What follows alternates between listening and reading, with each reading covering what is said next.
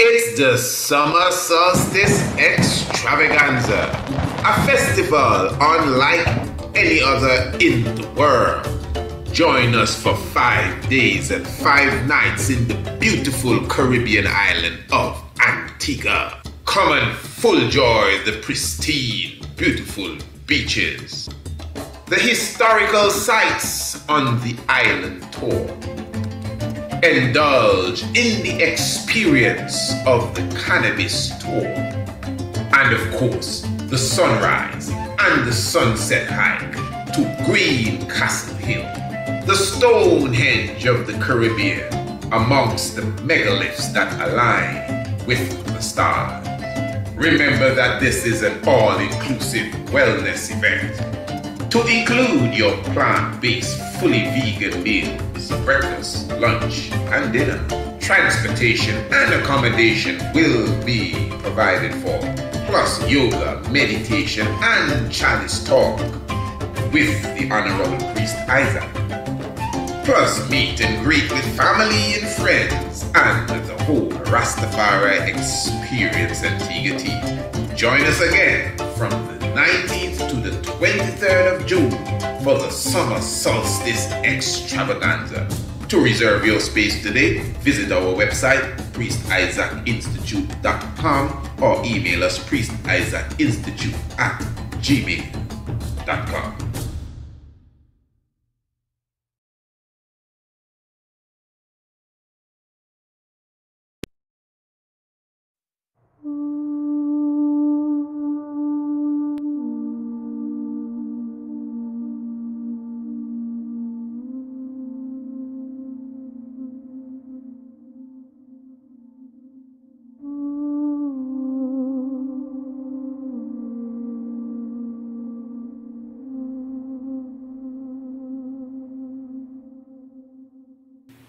The 19th Psalm of the Bible says that the heavens declare the glory of God. But before the Psalms were written, mankind has been observing the movements of the astronomical clock. From the Adam's calendar to Nabta Playa, the Great Pyramid, of Giza, Angkor Thom and Angkor Wat, and the Great Green Castle Hill.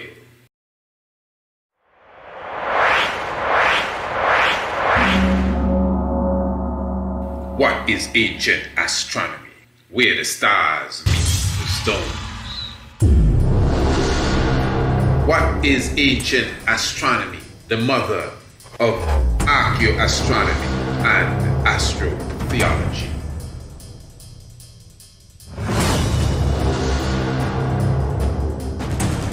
Before the Holy Bible, Rig Veda, the Popol Vuh, and even the Medu Neter, the original scroll, the heaven, has been declaring the glory of the universe.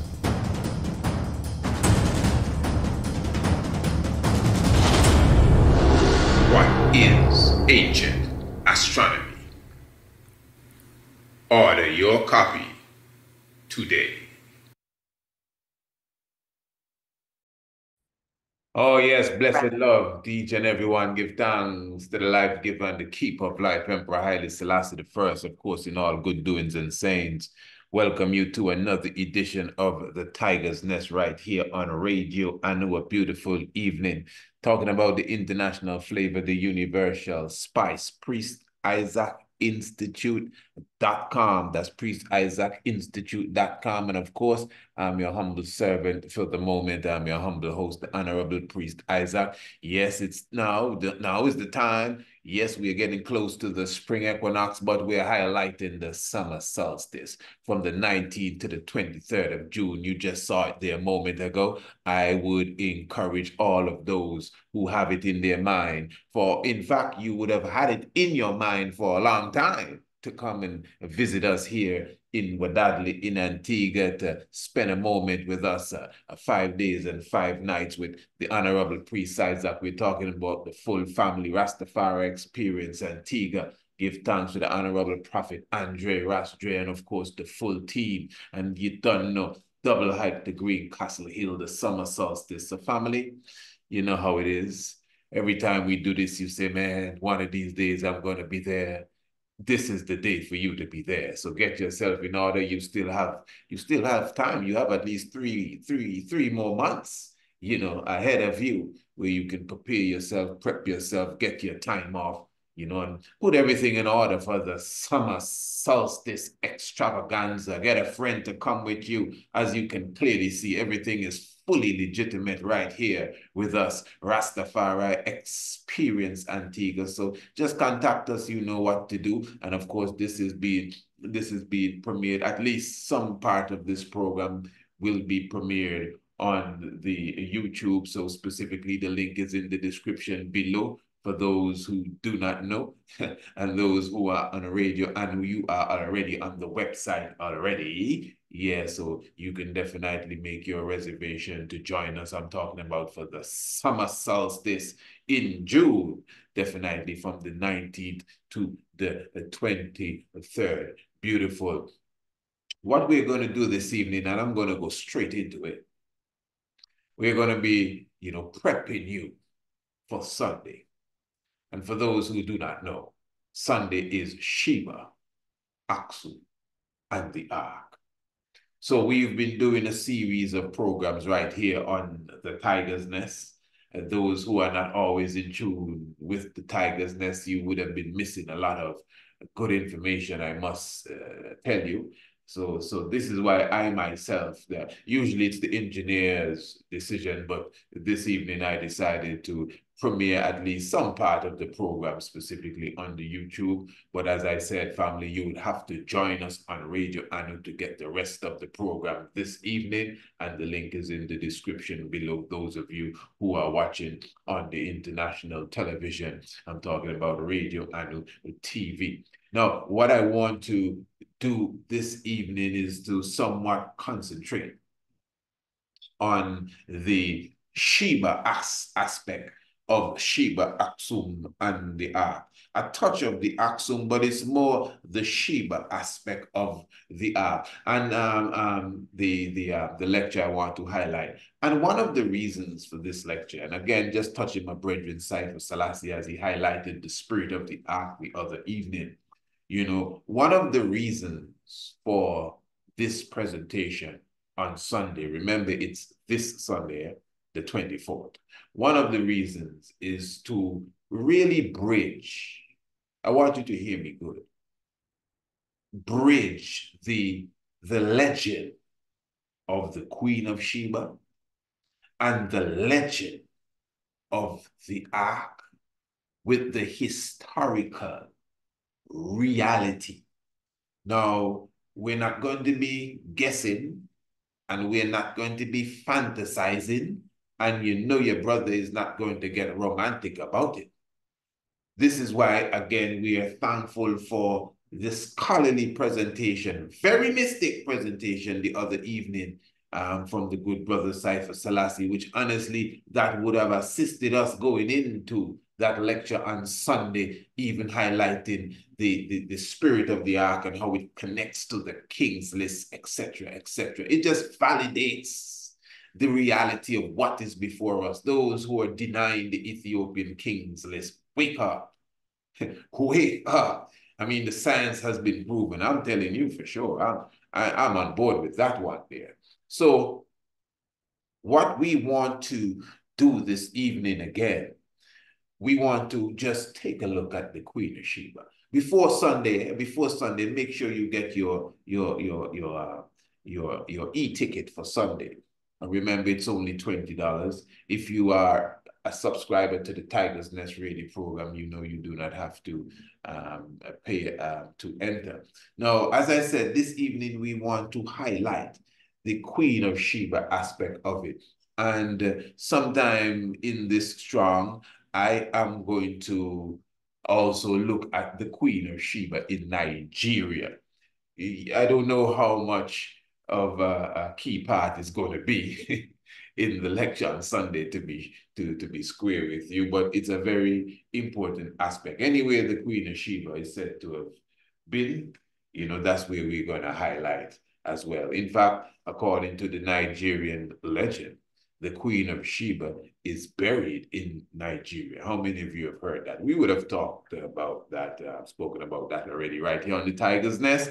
In fact, we did a whole program concerning that, the Queen of Sheba's gravesite. In fact, you can go to Nigeria and see the gravesite mm -hmm, where the Queen of Sheba, the same Queen of Sheba that visited Solomon is buried according, according to those who uphold that tradition uh, in Nigeria there. So that's somewhat removed from the ancient kingdom of Kush or the ancient kingdom of Aksum or the ancient kingdom of Ethiopia as we know the story of the Queen of Sheba. But anyway, let us concentrate here for, for the moment. Now, what I want to do first is to look at the whole concept of the kingdom of Kush. Because again, and I I always like like you know when when when my good brother Ankoma Jed highlights you know the importance of being able to go through history, understanding timeline and geography. You know, he may not have said it like that, but he would bring this up from time to time when it comes to the kingdom of Kush, especially when it comes to trying to decipher, you know, who is the queen, uh, um, Makeda or Queen Candace that met the Ethiopian official that came, you know, um, from Jerusalem, according to the book of Acts, and met Philip, the, the disciple of Christ, and was baptized. He was from the court of Queen Candace. And again, Candace is Kandake, by the way. And, and again, the brother would bring up uh, uh, a very good point from time to time that we must understand that the, the kingdom of Cush, which we will highlight tonight, the kingdom of Cush, when you say Cush, or even Ethiopia, I should say, in the Bible, when sometimes when it's speaking of Ethiopia, it's actually highlighting the kingdom of Cush. I want you to hear me good. When it's speaking of Ethiopia, sometimes, because it's not every single aspect of the Bible where you see Ethiopia uh, uh means that it has the same boundaries as even the Ethiopia today, or the Ethiopia in the New Testament and the Ethiopia in the Old Testament. There's nothing to be ashamed about with that, you know. Again, no need to be romantic. We just need to be realistic, fair enough. So again, when we study history, you know, uh, uh, as, as it relates to the kingdom of Kush, sometimes we just broad brush it over, I guess, Ethiopia and Sudan. And then sometimes we would speak of the whole of Northeast Africa was once Cushion, once Ethiopian, all of this. But we want to put it in context. You know, where the White Nile meets the Blue Nile in Khartoum, in Sudan, the place that most people refer to as Nubia, which some scholars actually denounce that term. You would find the ancient kingdom of Kush then you'd have to get into kingdoms like Napata and Merowe and, and you know, Ta-Seti, one of the more ancient of kingdoms. And they would all have been a part of what we would call the ancient kingdom of Kush. Now, again, this kingdom of Kush that most of us refer to was really situated in the region known today as uh, uh, Sudan. Now, the kingdom of Kush, like many other kingdoms, would have expanded as well. And in its expansion, we know of the great 25th dynastic period of Kemet.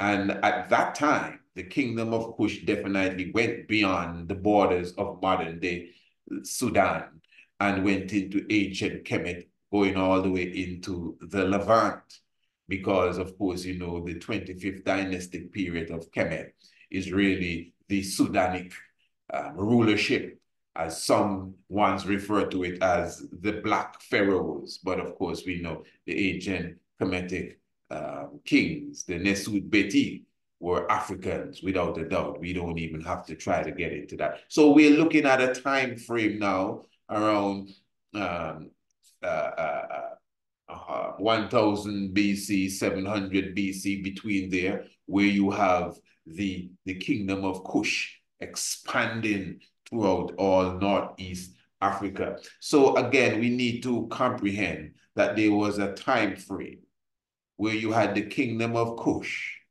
which is again where the White Nile meets the Blue Nile. But then again, we would have spoken about the, the kingdom of Seba, which, which is what we would refer to as the kingdom of Sheba. And this is seen in parts of modern day Ethiopia, plus as well as Arabia. Now, the reason why I am mentioning this with understanding is so that we as a family could gather the reality now that the kingdom of Sheba was not necessarily the kingdom of Cush. The kingdom of um, Damat, also you would see as DMT, was not necessarily the kingdom of Cush. And the reason why I'm saying that is because we are very easy to broad brush all of these places as the kingdom of Cush. It's very important. I come to realize that as a student of history, you need to comprehend your dates and you need to comprehend your geography. So maybe in times gone by, the area that is known as Damat or DMT as you see it, maybe that was a part, that area may have been a part of a, a more ancient kingdom of Kush. You comprehend. The same thing can be said of the kingdom of Aksum. We're in Aksum today. Look at Aksum today.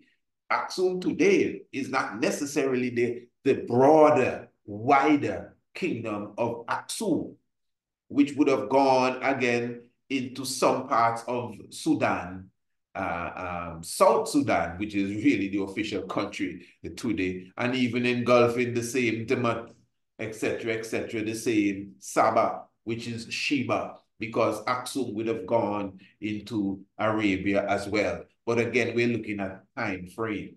So we're dealing with at least from 3000 BC to the modern time. That's like 5,000 years. You know, kingdoms rise, kingdoms fall, you know, whether you have a um, relationship that went sour amongst ones and brothers, that determines boundaries and borders. So again, we have to comprehend history, comprehend geography with history, especially when we're going to apply timelines and dates to these events and the places. I hope you get and gather and comprehend what I'm saying. And the reason why I'm saying this, you know, so that we can be very scholastic in our conversation. That's how it is with me. So when we just start to talk and say, yeah, man, when you're reading the Bible, Ethiopia, when you're reading the Bible, Ethiopia, talking about the kingdom of Cush. And then we just leave it there and that's it and no question. So where is Cush? Yeah, man, Cush is Nubia.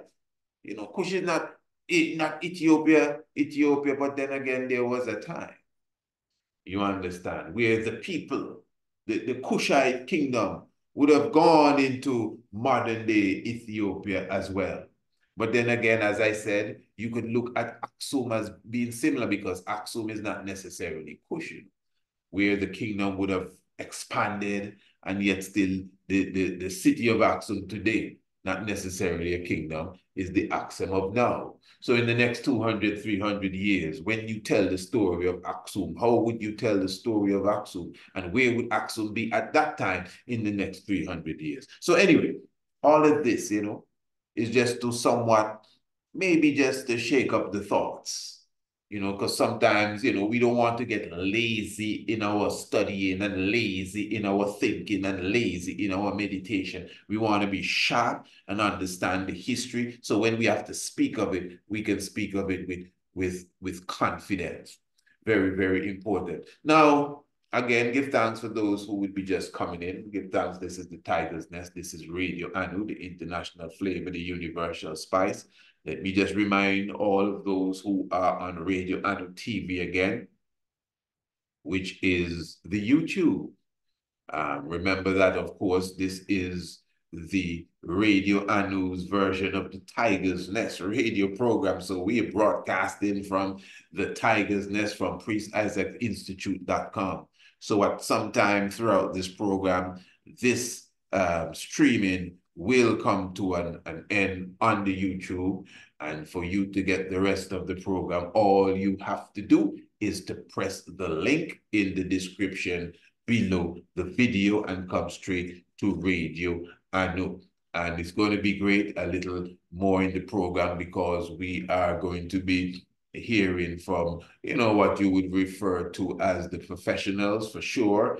We're going to be hearing from um, uh, Dr. Solange Ashby, and she is an archaeologist specifying in, in Nubia.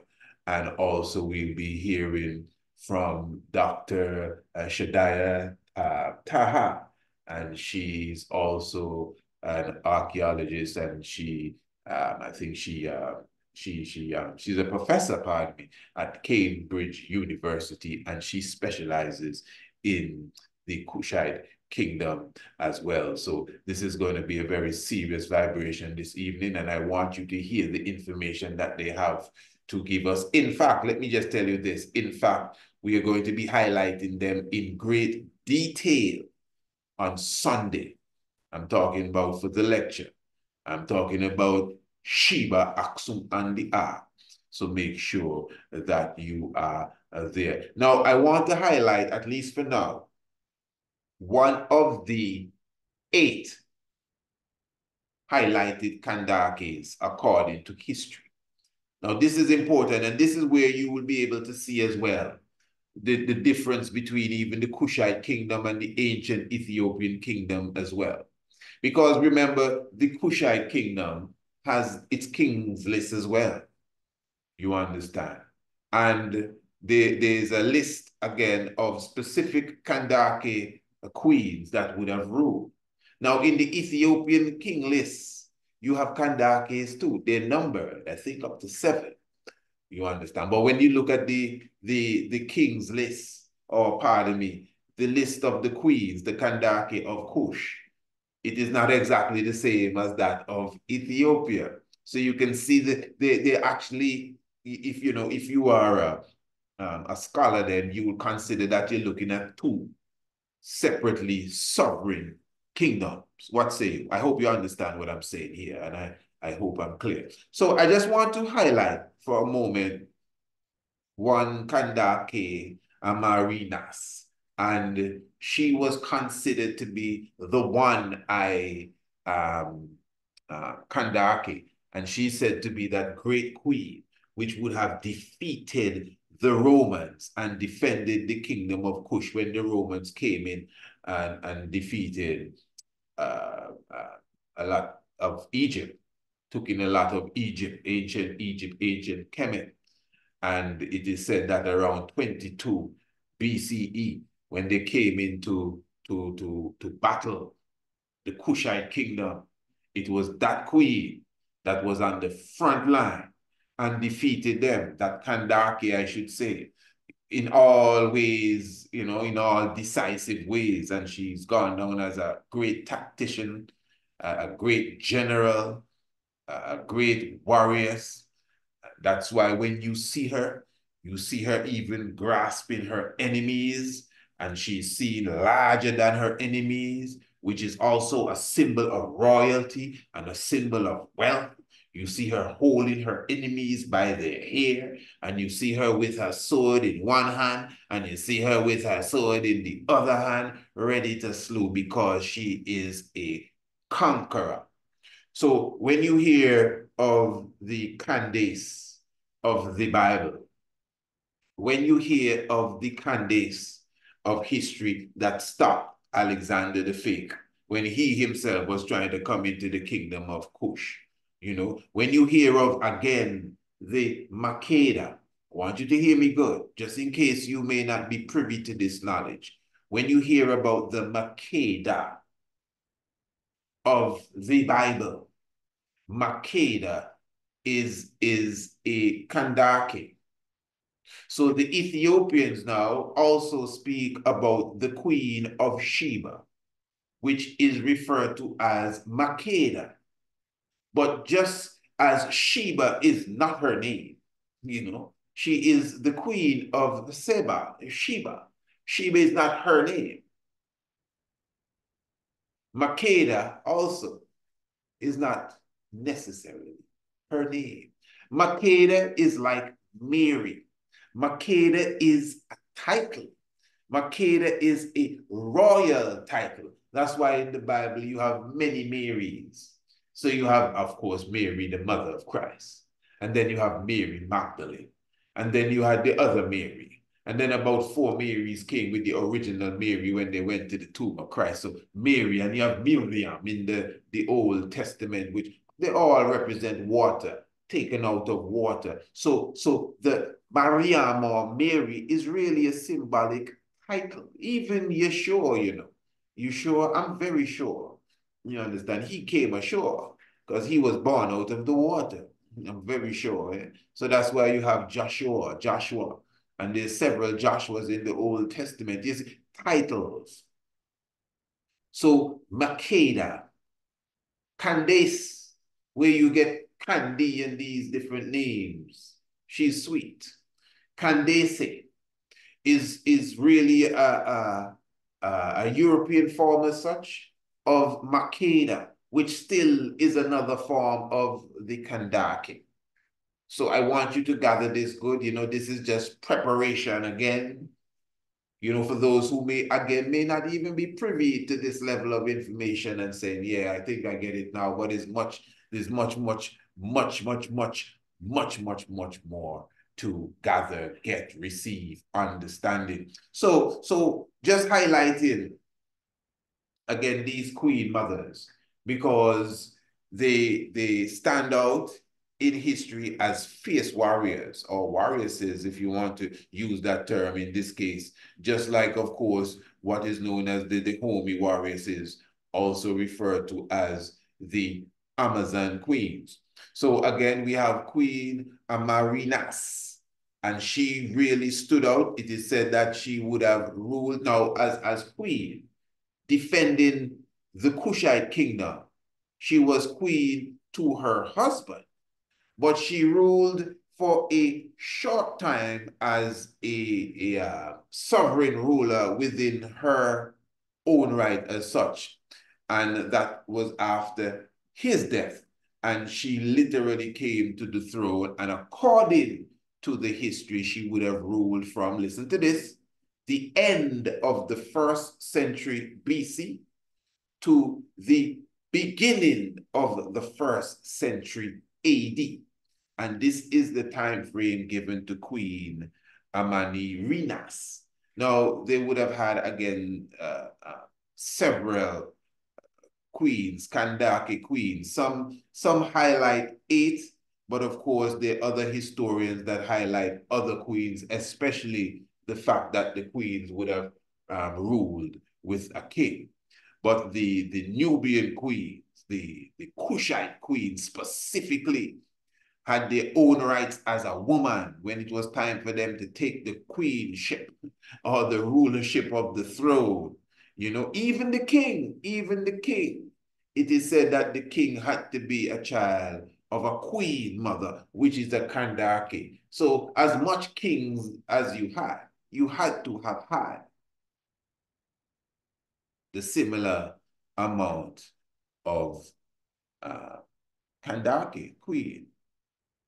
Then you have another great queen, Amane Tore, and she herself also, she ruled a bit after uh, um, Queen Amanirenas, but again, for a very short time. Now, what I want to highlight here with the whole concept of the Kandake, and this is where I want to get.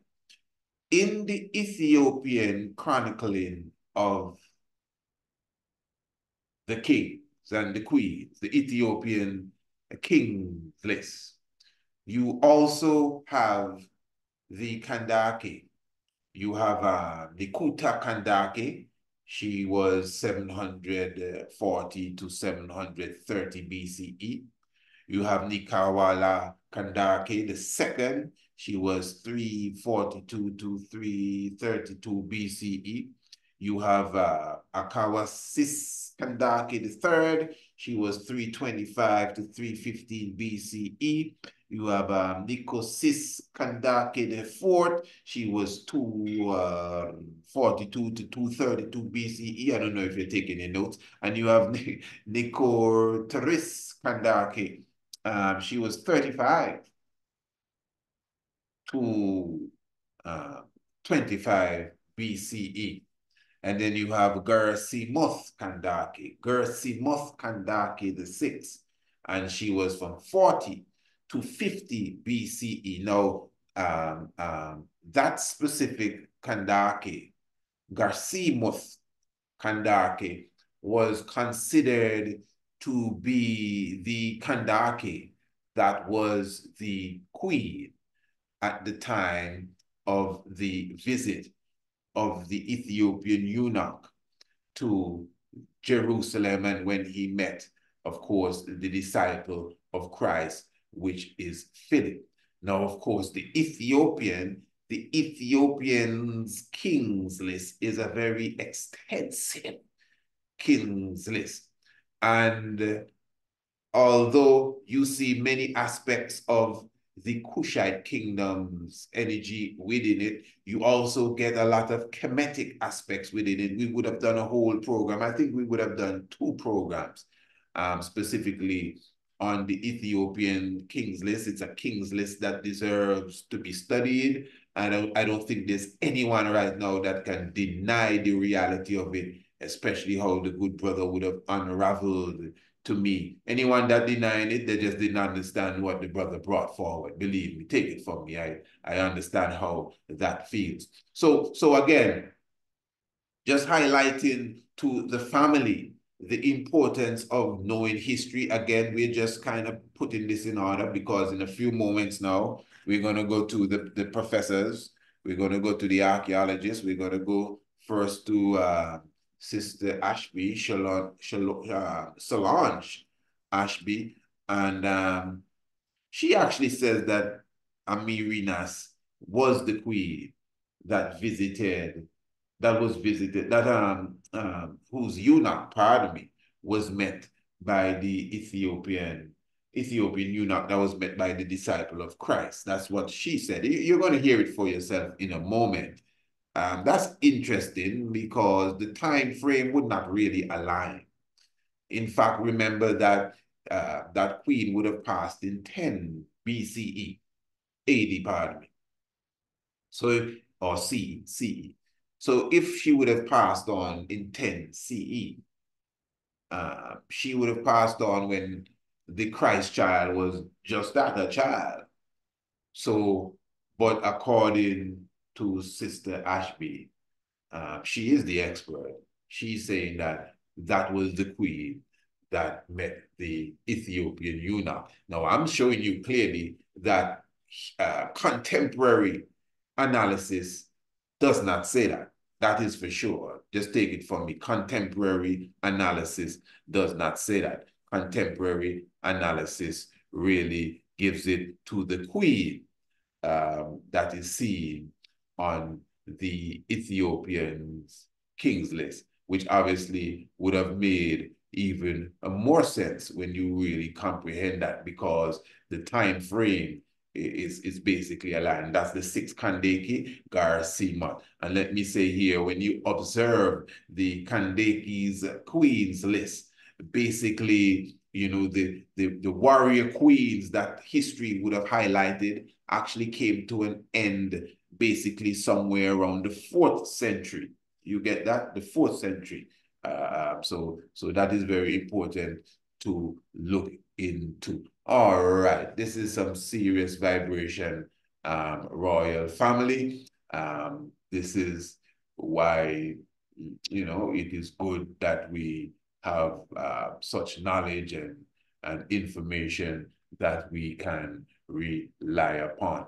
Very good. Now, what I want to do right now, as I said, we are going to be definitely going into an audio, and you will hear for yourself the good uh, archaeologist from Nubia giving us a good understanding now of the warrior queens from Nubia. You're going to hear um, also Professor Taha from the Cambridge University. She will be speaking. She's a Sudanese, by the way, but she's the professor at Cambridge University. She also will be highlighting the importance of the role of the, the Kandake in Nubian history, in Kushite history as well. This is very, very important. So as I said, family, all of this is just preparation you know, for Sunday, the 24th day of March. I am hoping that ones have already, you know, secured their space.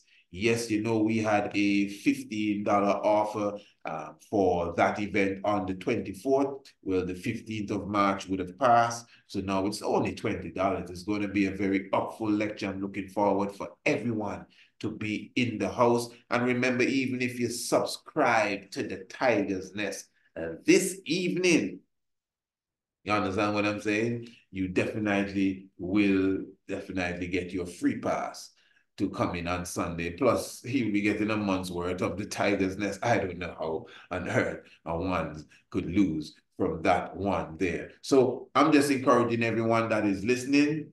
We're going to go deeper now. The Tiger's Nest has just begun. Eh? We just begun. But we're going to seal up the stream on the YouTube right now. So what you need to do is press the link in the description below this video and join us on Radio Anu, Priest Isaac Institute.com. So again, press the link in the description below the video and join us on Radio Anu, Priest Isaac Institute.com and let us continue this beautiful discussion and we're going to hear from the experts. Give thanks.